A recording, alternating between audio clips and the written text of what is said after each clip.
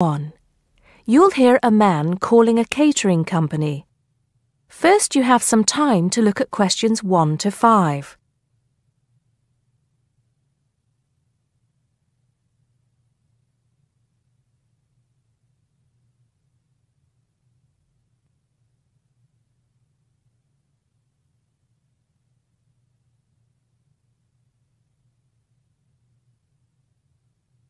Now we shall begin. You should answer the questions as you listen because you will not hear the recording a second time. Listen carefully and answer questions 1 to 5. Hello, five star caterers. Can I help you? Oh, yes. I spoke to you an hour ago about the arrangements for our end of term party. Oh, that's right. It's Mr. Saunders, isn't it? Actually, it's Sanders. That's S A N D E R S. Oh, I'm sorry. I'll just get that down correctly on the form. Okay, Mr. Sanders, sorry about that. No problem. Well, I've got the details you asked for, so I thought I should call you back quickly and book. Good. Let's fill in the form, shall we? Great. First of all, can you give me a telephone number? Somewhere where you can be contacted during the day. Yes, it's 445 6786. Double four five six seven eight six. Okay. And do you have a number where you can be contacted outside of office hours? Well, I'm at work till late in the evening, so use the same number, and if I'm not there, you can leave a message. Thanks. I'll make a note of that. And how many guests shall I put down? Okay, that's changed. So instead of the figure I gave you before of 85, it's now only 50. It's much lower, I'm afraid, because a lot of people can't make that date. That's not a problem. Can you remind me of the date we'd set? Yes, it's the 25th of June. Okay, that's fine. Before you hear the rest of the conversation, you have some time to look at questions 6 to 10.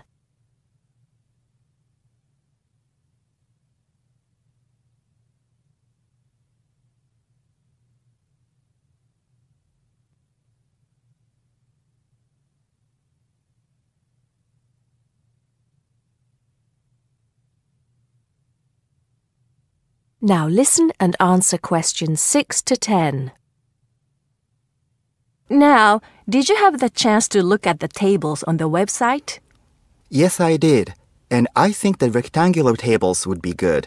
The long, thin ones. Yes, um, you could have two of those. The only problem is that they're for 24 people. So you'd only seat 48 people that way. And if you have 50 guests, Oh, I see what you mean. Two people would have nowhere to sit. What about the square ones? you'd have the same problem with numbers. Usually, for 50 people, we find the round tables work well. Not the smaller ones. They only seat six people. The ones that seat 10, the large ones, So, do you think we should have five of those? I think that would work well. Okay, that's what we'll do then. Fine. And have you decided on the menu you would like? Yes, I think so.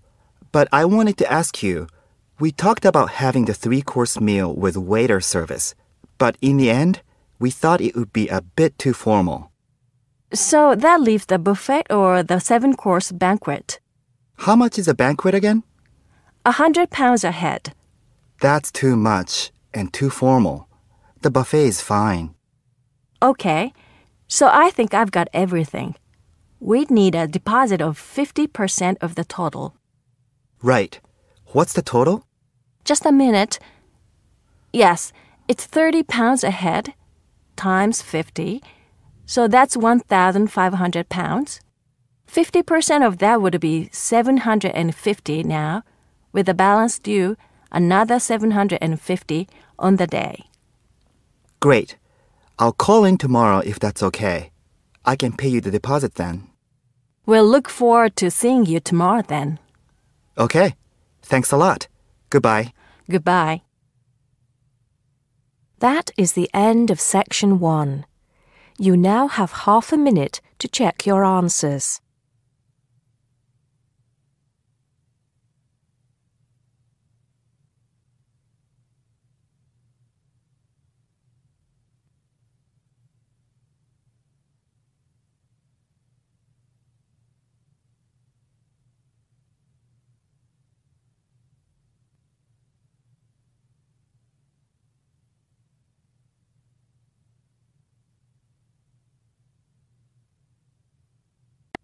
Now turn to section 2.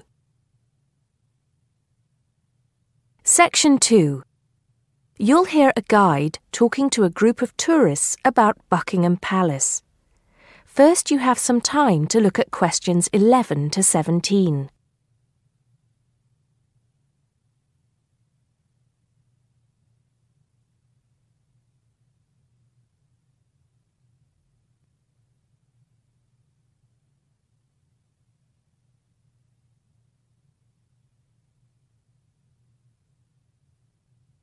Now listen carefully and answer questions 11 to 17. Now, of course, Buckingham Palace is instantly recognisable to millions of people around the world. As we pass the palace, I'd like to tell you a few things about the history of this famous building. We think the first house was built here around 1624. In 1674, that house burned down and a new one was built, called Arlington House after its owner, the first Earl of Arlington. Then, in 1703, the first Duke of Buckingham changed the design of the house and the name. It was then known as Buckingham House. The building we see in front of us now has undergone many changes since it was first built. The east front, which is the part we see from the road, was added as part of the work done by Queen Victoria and was completed in 1850. But the palace has remained pretty much unchanged for nearly a hundred years. The last major changes to the structure were made by King George V, who, in 1913, had the east front redesigned as a backdrop to the large memorial to Queen Victoria, which had just been placed outside the palace gates. Since then, only minor changes have been made. I should point out, though, that the palace was bombed seven times during the Second World War, most seriously in 1940, when the palace's chapel was destroyed. Today, of course, it is the home of the royal family, but that wasn't always the case, although they did own most of the land it was built on. It was George IV who turned it into a palace, doubling its size when he became king in 1820. He had inherited it from his father, King George III, who, in 1761, had become the first royal owner of the building, though it was still not used as the home of the royal family, just as a private home for Queen Charlotte. It was known as the Queen's House at that time. King William IV finished the work after his brother, George IV, died. But King William never moved into the palace. In fact, in 1834, he offered it as a new home for Parliament after the Houses of Parliament were destroyed by fire. The offer was not accepted, though, and in 1837, when Victoria became Queen, the house became the main royal residence in London. However, Victoria and her husband, Prince Albert, found the house too small, so they carried out building work to further enlarge it. This included building the east front, which I've already mentioned as the part we are looking at now. Victoria was also responsible for moving the Marble Arch, built as a part of the palace itself in the 1820s, to where it stands today, separate from the palace on the corner of Hyde Park. For 20 years or so, the palace was often the setting for huge banquets, dances, and musical performances. This period lasted until Prince Albert died in 1861, after which Victoria spent very little time there and the palace was hardly ever used.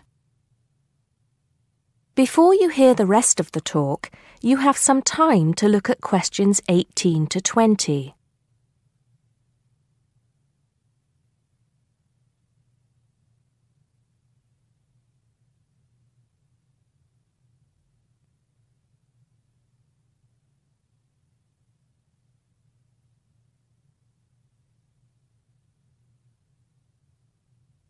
Now listen and answer questions 18 to 20.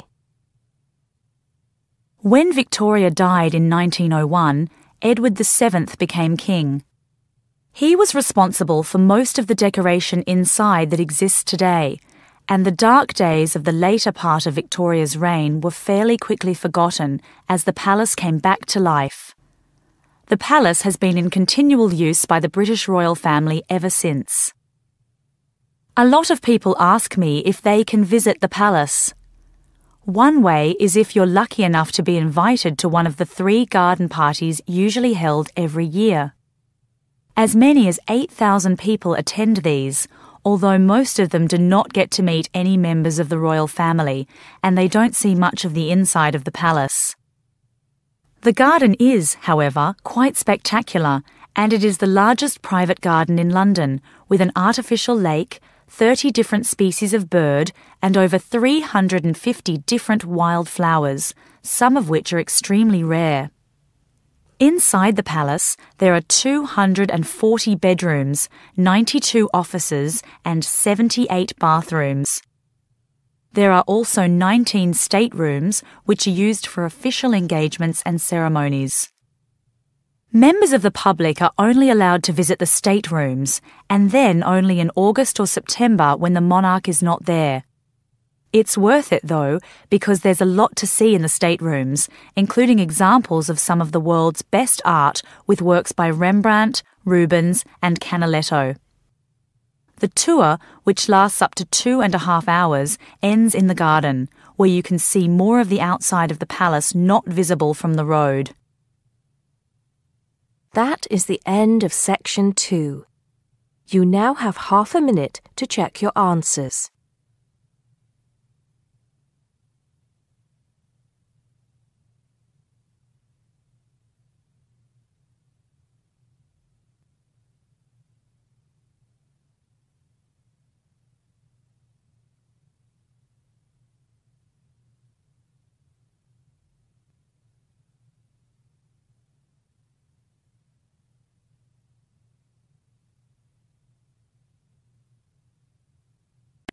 Now turn to section 3.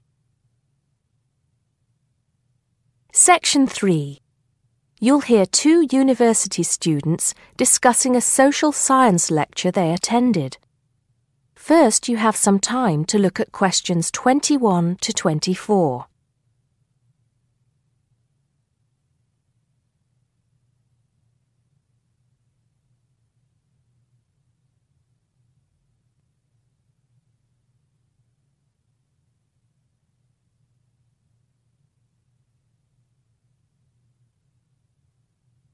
Now listen carefully and answer questions 21 to 24.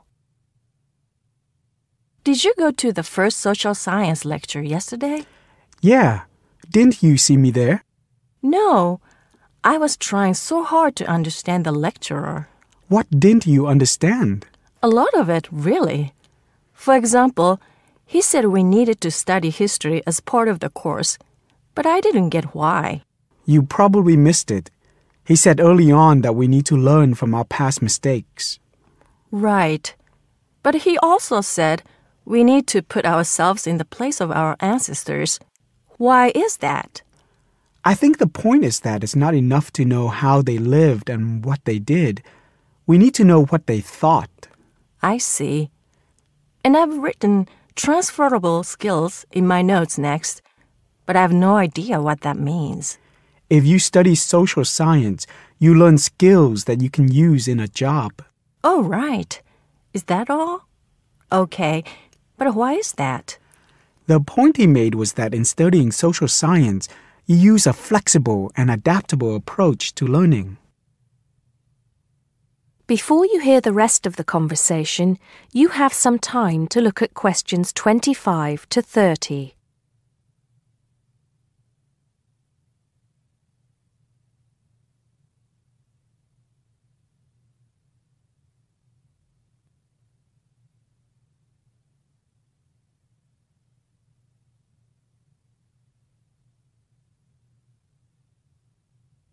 Now listen and answer questions 25 to 30.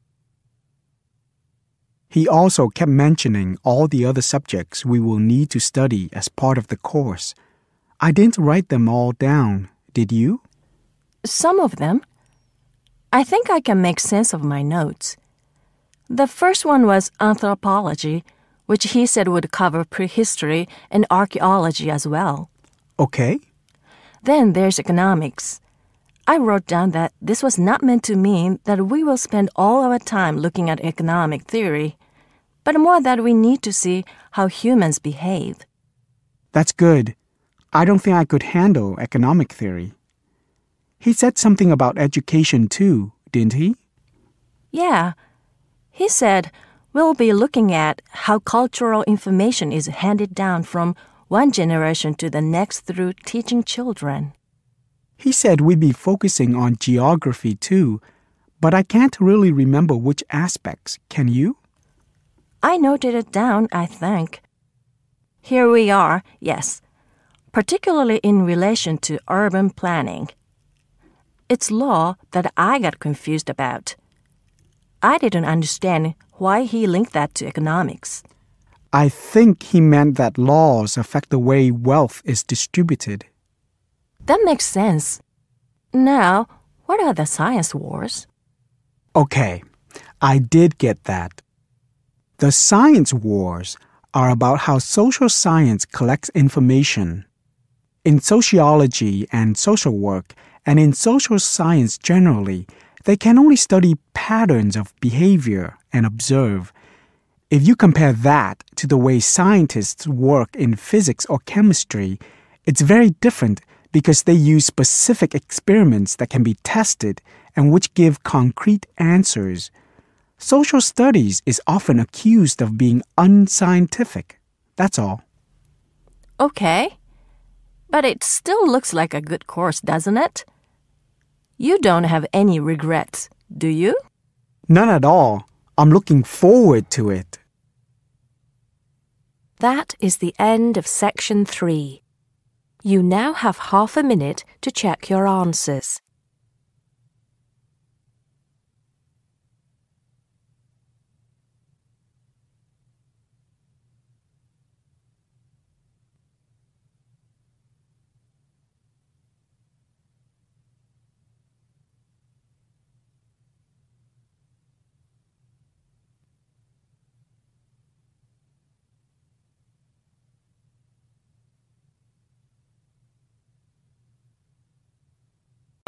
Now turn to section 4.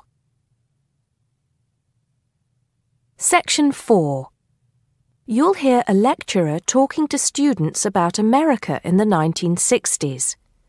First, you have some time to look at questions 31 to 40.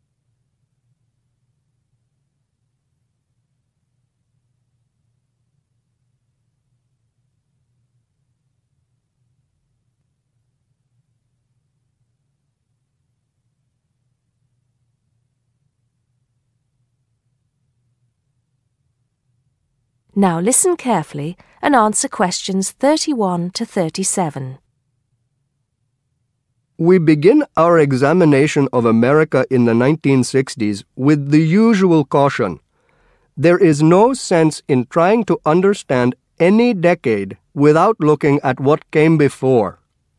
Those of you who still have outstanding coursework on the 1950s would do well to complete it now, if for no other reason than it will help make sense of the next series of lectures. But we must press on, and I'd like to begin my talk about the 60s with a reference to one of those things that came before the post war baby boom.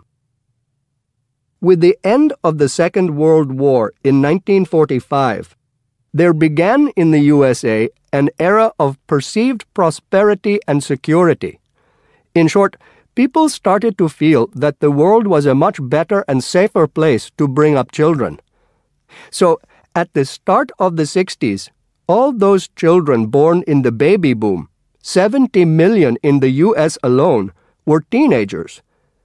As the 60s progressed, and as this large number of people approached adulthood, there was a noticeable shift in the balance of power, and young people began to have a voice in ways that were not considered possible in the more conservative atmosphere of the preceding decade. Things were moving forward at a rapid pace. The literature of the time brought out all the taboos. Everything was covered, such as race, in, for example, the book To Kill a Mockingbird, the role of women changed, and uh, equality for women, well, let's just say that once certain books were published, women were no longer going to be satisfied with their roles as devoted wives and mothers. Through literature alone, the whole fabric of society was challenged, and by the end of the 60s, things would never again be as they had pretty much been for the preceding 40 years. It was a decade of protest civil rights protests, feminism, the rights of minorities, the Vietnam War. All these causes led to peaceful and not so peaceful protests on college campuses and elsewhere. People had been given freedom of speech and they were going to use it. The crime rate rose to nine times what it was in the 50s as respect for the old order faded away. But it was also a time of great development. In medicine, the 60s saw the first heart transplant.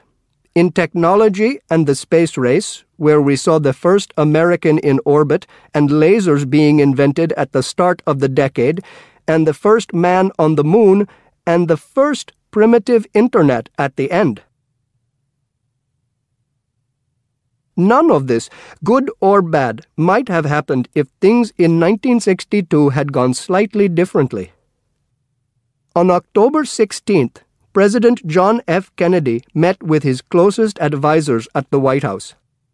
They had obtained photographic evidence showing that Cuba was building or installing nuclear weapons it was widely believed that Cuba was preparing to fire these weapons at cities in the USA. Kennedy was faced with three choices to try to resolve the crisis diplomatically by negotiating with Cuba and the Soviet Union, to take action to block the delivery of more weapons into Cuba, or to attack Cuba, destroying their weapons. Believing that the first option would end in failure and that the third option would lead to war, it was the second option that Kennedy chose. In doing so, he succeeded in preventing the buildup of more missiles. The Soviet Union then withdrew the weapons from Cuba. Most historians agree that if Kennedy had acted differently, the episode would have led to a full scale nuclear war between the United States and the Soviet Union. Millions would have died, and the world would have been changed beyond recognition. That is the end of section four. You now have half a minute to check your answers.